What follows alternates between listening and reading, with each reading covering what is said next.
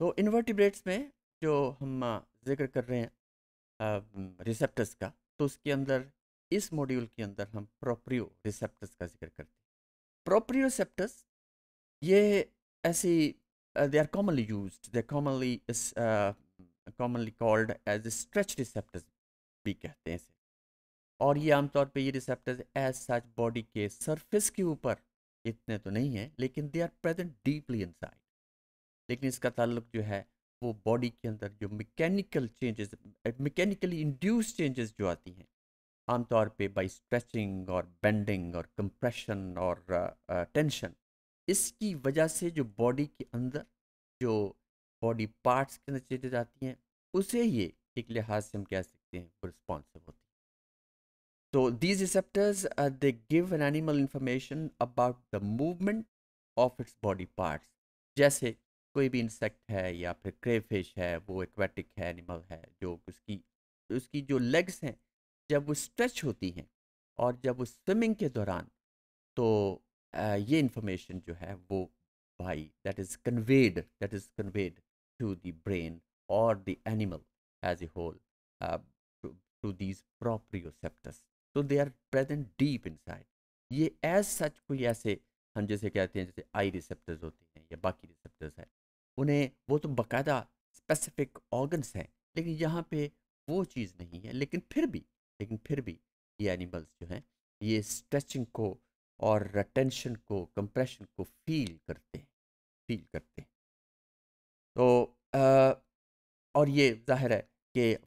इसकी मिसाल यूँ है फ़र्ज़ करें कोई भी क्रेफिश है वो किसी क्रेविस में क्रेविसेस क्योंकि बहुत सारी समझ वाटर्स के अंदर भी बहुत सारी ऐसी चीज़ें होती हैं कि वो होल्स बने होते हैं क्रेविसेस होते हैं, उसके अंदर ये मूव करना चाहते हैं। तो ऐसे में ऐसे में उन एनिमल्स को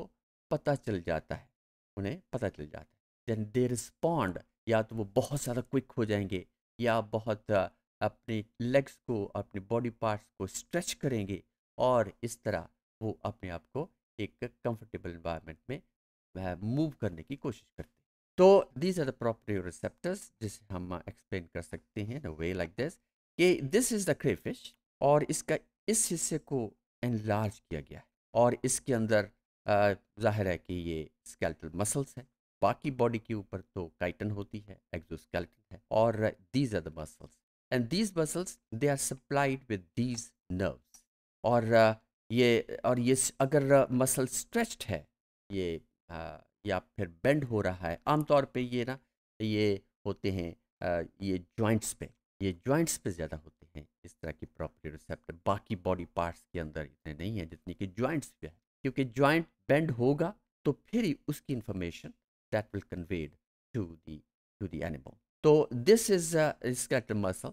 जिसे हम डिटेल में प्रीवियस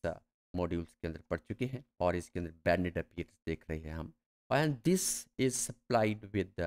these these dendrites और डेंड्राइट्स क्या हैं? These are the branches of of a nerve of a neuron तो ये मेन बॉडी है और ये फिर एक्सॉन है. This is the axon of sensory of sensory neuron तो जब ये बेंडिंग होगी तो या या जो मसल्स जो है वो कॉन्ट्रैक्ट या रिलैक्स होगा तो ये information that is conveyed this neuron uh, to the uh, to the uh, brain obviously because they are uh, that is the part where the, the, the different specific centers are located so this animal it will respond accordingly either it will be very slow down or it will become very active so it is these are proper receptors which are responsible uh, for all these activities of uh, the animals तो proprioceptors associated with appendages appendage joints जैसे legs के अंदर उसकी joints में और body extensor muscles के साथ। क्योंकि ज़ाहिर है कि जब मसल्स जो हैं दे कॉन्ट्रैक्ट रिलैक्स करते हैं तो जॉइंट बेंड या स्ट्रेट होता है। Now in these muscle in these animals neurons may be attached to the muscles, elastic connective tissue, fibers or various membranes that span joints. तो जो भी इसके अंदर चीज़ें हैं उसी के साथ ये न्यूरॉन्स जो हैं दे आर एसोसिएटेड और वो फिर तमाम जो इम्पल्सेस हैं they are generated the action potential is generated the potential starts होता है। जैसे हम जनरेटर पोटेंशियल सबसे पहले स्टार्ट होता है, फिर that is converted action potential और फिर accordingly accordingly this animal respond to such a situation अगर कोई प्रीडेटर उसके पीछे लगा है लेट्स से तो ये जॉइंट्स हैं। जॉइंट्स के अंदर जब कंप्रेशन होगी और रिलैक्सेशन और मसल्स की कंट्रैक्शन वगैरह सारी बातें होंगी तो this animal will move more quickly so this is the response of this animal और ये जैसे हमने यहाँ पे देखा कि ये मसल्स और न्यूरॉन्स की रिलेशनशिप है उनकी आपस में एसोसिएशन है और कोई ऐसी ऐसी ऑर्गन एज सच वो नहीं है which act as which may act as the proprioceptors.